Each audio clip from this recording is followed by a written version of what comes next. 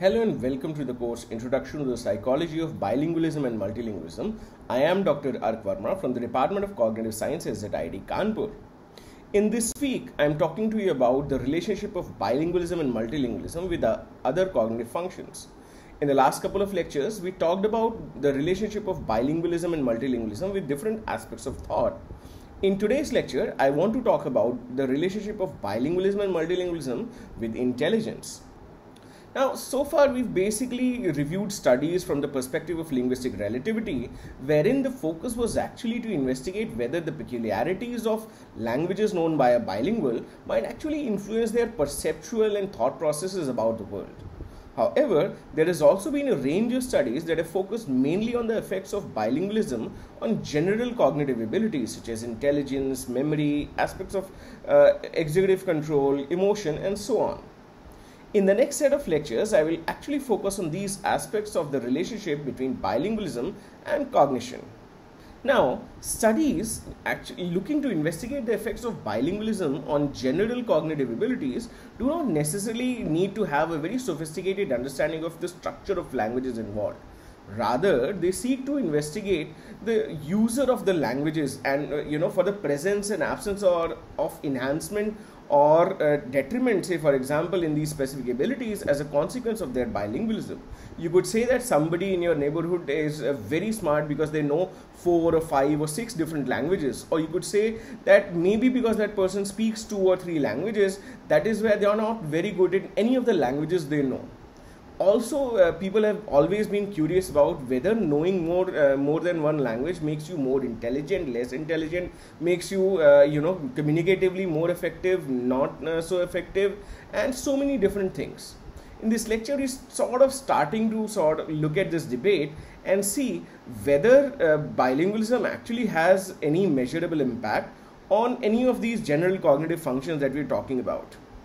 typically when you're looking at studies that want to do this they are actually trying to compare a group of bilinguals with a carefully matched group of monolinguals on factors such as age socioeconomic status education etc etc parents uh, uh, you know education and so on in terms of and then basically compare their performance in terms of a well chosen task that would reveal a latent variable. See, for example, if you want to check somebody's concentration, if you want to check some how somebody's problem-solving capabilities, if you want to check somebody's uh, you know abilities in terms of uh, managing uh, responses, selecting correct responses, and so on. So typically, what people have been doing or people would do is that they would basically uh, select a group of bilinguals and they would select a group of uh, matched monolinguals, which are not different in age, gender, socioeconomic status, and so many of these things. And then actually, the only difference between these two groups will be that one of these groups is a bilingual and the other is a monolingual. And then both of these groups perform on a task, and you basically compare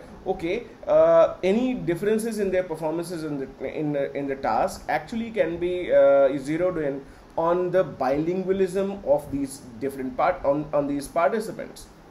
So here if you sort of uh, you know want to uh, go ahead in this uh, direction task selection is actually of very special importance because the same must be chosen on the, on the, basis of an informed hypothesis. You will not randomly pick a task. You, so there are many experimental tasks. People who are students of cognitive science or cognitive psychology would know that there are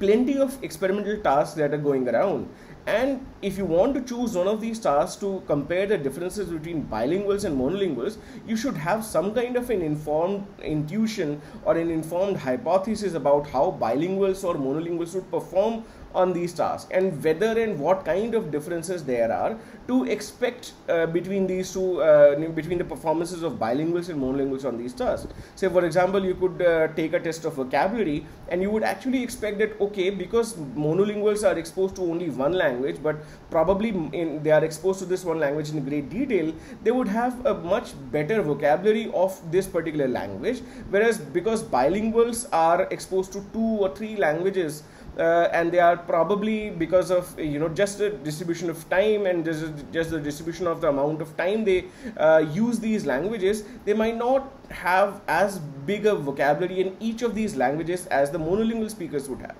So you can have any kind of question and you based on that question you will select your task and then you will co- compare the performance of bilinguals and monolinguals more recently what has also been happening is that people have been basically just picking up bilinguals uh, a range of uh, bilinguals and basically comparing the performance of different types of bilinguals or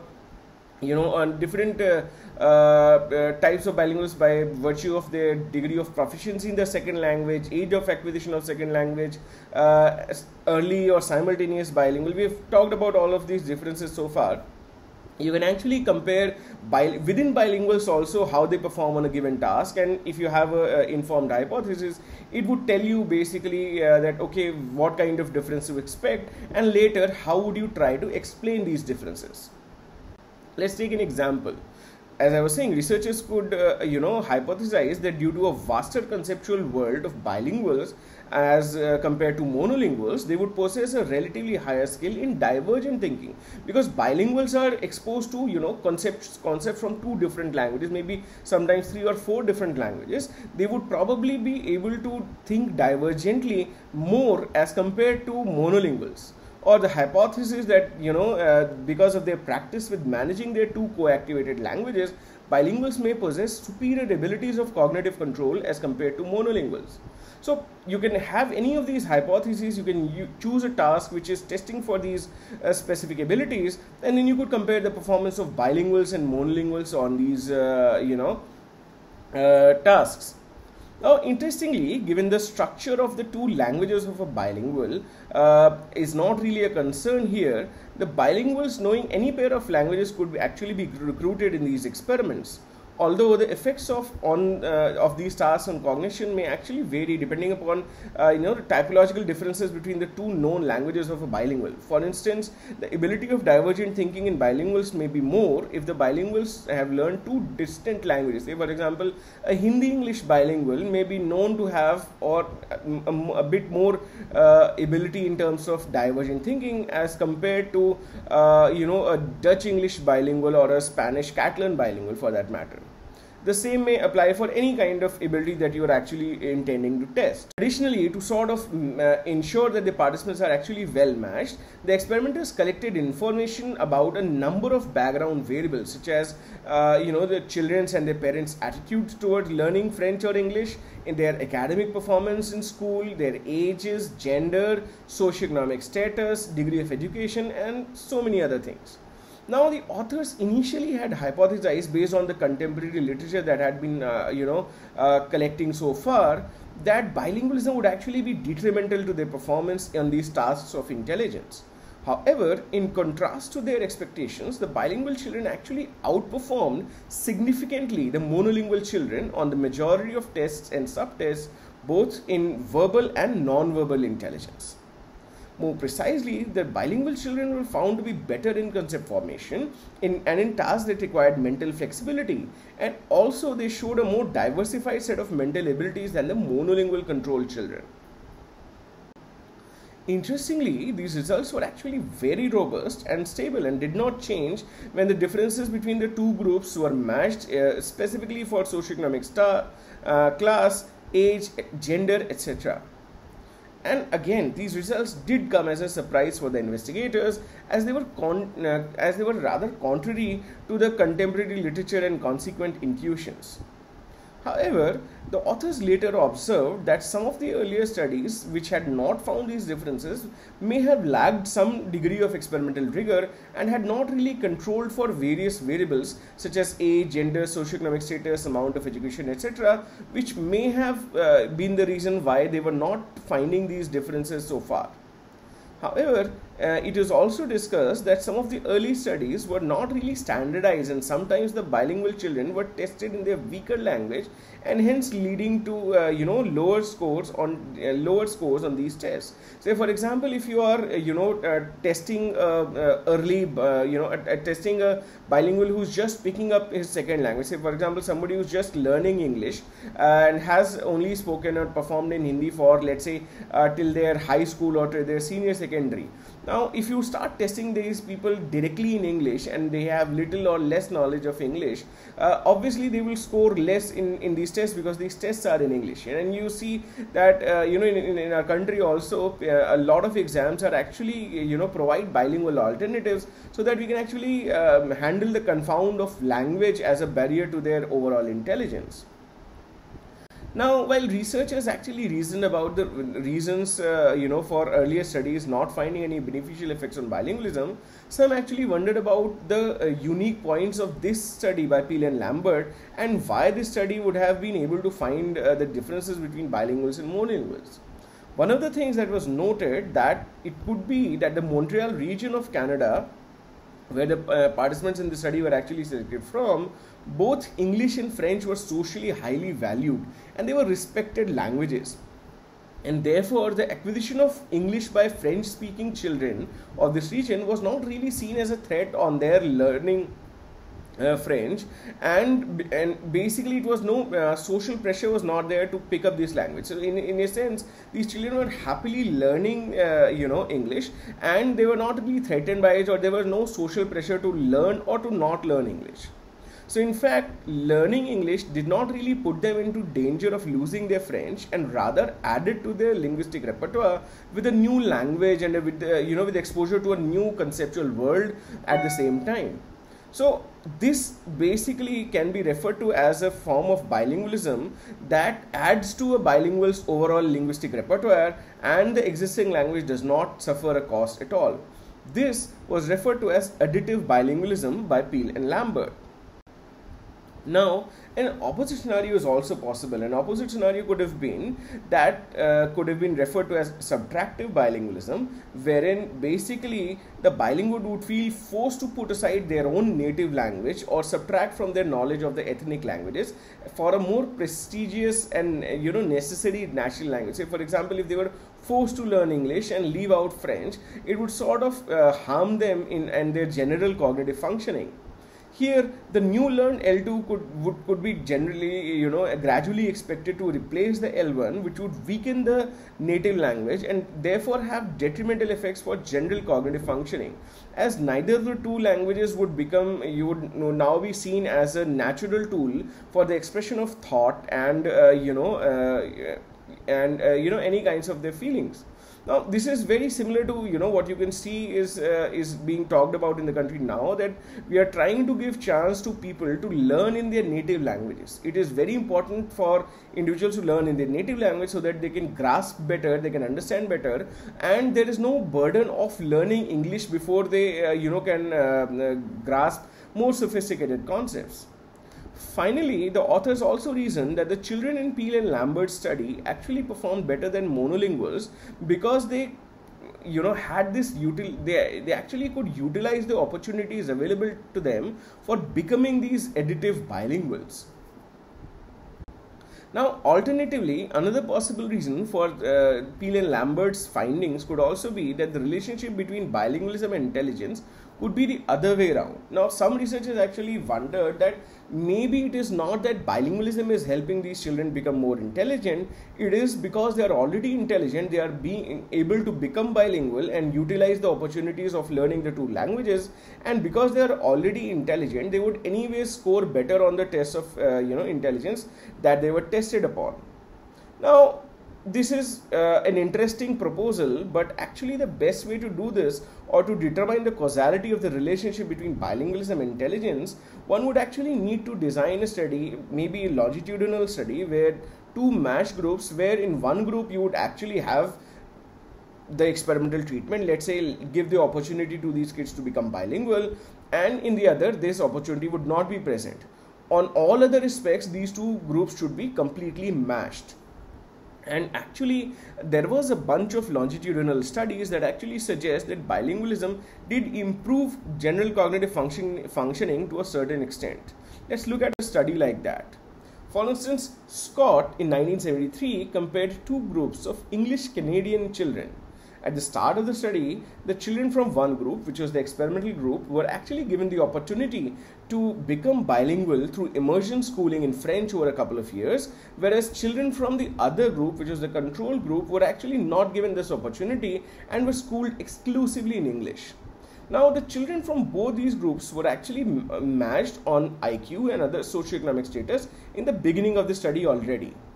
In another study, a random selection of schools in an area of uh, New Guinea, uh, which is a French speaking locale in America, were permitted to offer part of their uh, elementary uh, curriculum in French, which was the children's home language. and another group of uh, schools uh, with children of similar intelligence and socioeconomic backgrounds was actually uh, uh, you know not allowed to do this and they offered an all english curriculum. So you can see one group of schools is allowing the uh, bilingual exposure to these kids whereas the other group of school is not allowing bi- bilingual exposure to these kids and both groups are actually matched.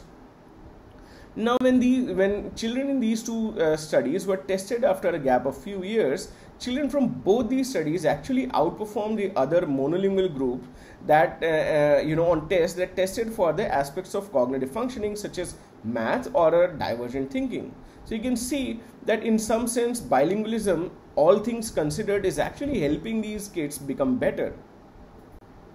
Finally, in a third longitudinal study, which was conducted by Kessler and Quinn in 1980, a group of Hispanic American English children, um, uh, Hispanic American children, were provided with the opportunity to learn subject matter in their home language, and uh, uh, which was Spanish, and their performance on a number of tasks was actually compared to that of a socioeconomically uh, more privileged group of middle class monolingual English speaking white children. Now, interestingly, both groups of children were given uh, extensive training program in science, inquiry, through discussions, films, and hypothesis testing. Now, not surprisingly, as we've been seeing in the study so far, the students from the Hispanic American group actually outperformed those in the English American group in problem solving capabilities, generating hypotheses of a higher complexity, and even generating those uh, uh, you know hypotheses uh, in a better quality of linguistic structure than their english counterparts. If you look at uh, uh, you know all of these th- studies in totality you would realize that these results actually suggest that bilingualism does have some positive impact on cognitive functioning and that it is useful to allow ethnic minority children to nurture their home language and thus to convert their experiences uh, from subtractive bilingualism into adapt- ad- additive bilingualism. Now, interestingly, while we've been talking about the benefits of bilingualism, we've been talking about how it can help people's intelligence and so on there are also a range of studies that have uh, you know uh, be, uh, have pointed out certain drawbacks in being bilingual. For instance researchers have actually shown that as compared to monolingual norms bilingual children actually have relatively smaller vocabularies in their separate languages. It's probably because as bilinguals have two fully developed lexicons the uh, you know and two words for the same concept each single word gets used much less often uh, than a single word that a monolingual uses. And therefore is susceptible to loss and forgetting and uh, you know overall being lower in the frequency now, the, this is also one of the reasons that uh, you know word retrieval is in fact slower and more effortful in bilinguals compared to monolinguals. So this also sort of supports this notion that yes, bilinguals typically will have lower vocabulary in each of their two languages as opposed to monolingual speakers of both their languages. Interestingly, bilingualism has also been linked to advantages in metalinguistic awareness. For example, the ability to reflect on and manipulate the structural features of language uh, independent of meaning. Now, metalinguistic awareness is basically where you're not really just caught in the uh, meanings of individual words, but whatever overall sense uh, you're getting.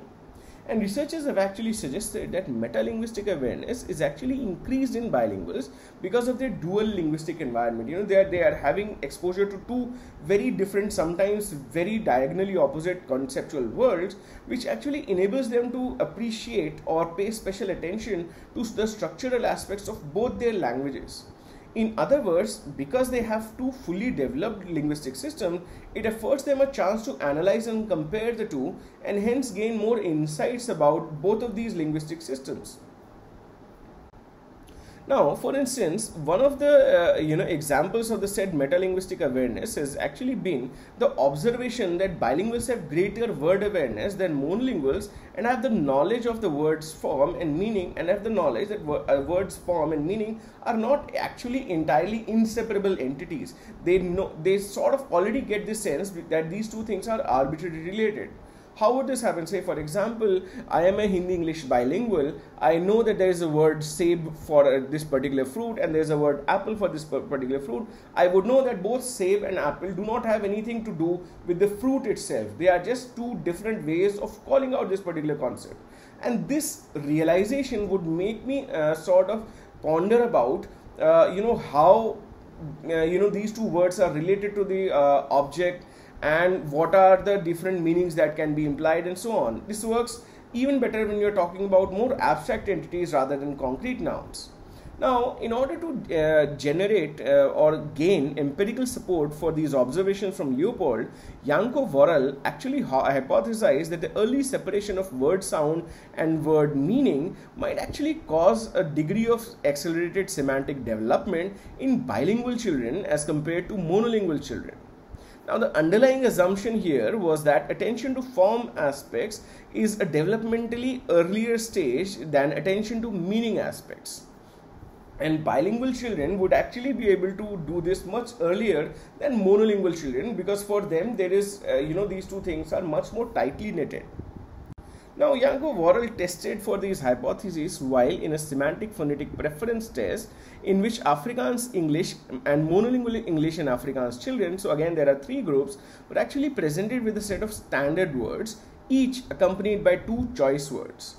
One of the latter two words were similar, uh, you know, in sound to the standard. Say, for example, cap and can are very similar in sound, and the other was semantically related to the standard word. Say, for example, cap and hat. Now, cap and hat are semantically related, whereas cap and can are phonetically related. Now, the participants in this study were actually asked to select the choice word most similar to the standard. So, you can basically, they were asked questions like, I have three words, cap, can, and hat. Which is more like cap, can, or hat? Now, if the in, if the children are actually going for uh, semantic relatedness, they would actually go by cap and hat. And if they are actually going just by the cosmetic property of phonology, they would probably uh, say cap and can are more similar to each other. Now, all of these participants were children, young children, aged between 4 and 6 and 7 to 9 years, and they were tested in both their languages. And their performance in Afrikaans and English was compared to the performance of that of, uh, you know, Afrikaans English bilinguals, respectively.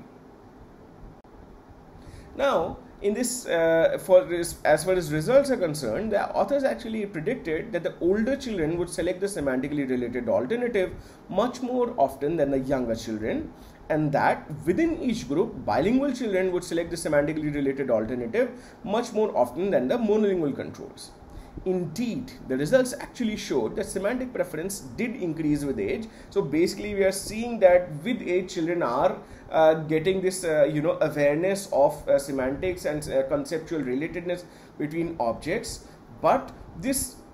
age function actually was there only in monolinguals in bilinguals, they did not see this age function because the bilinguals had actually achieved this stage much earlier in life. So, with change, say for example, between 4 to 6 years and 7 to 9 years, there was no difference in age because both of these groups are already performing at a ceiling. Which tells us again in turn that bilinguals are indeed better in their metalinguistic awareness as compared to their monolingual counterparts.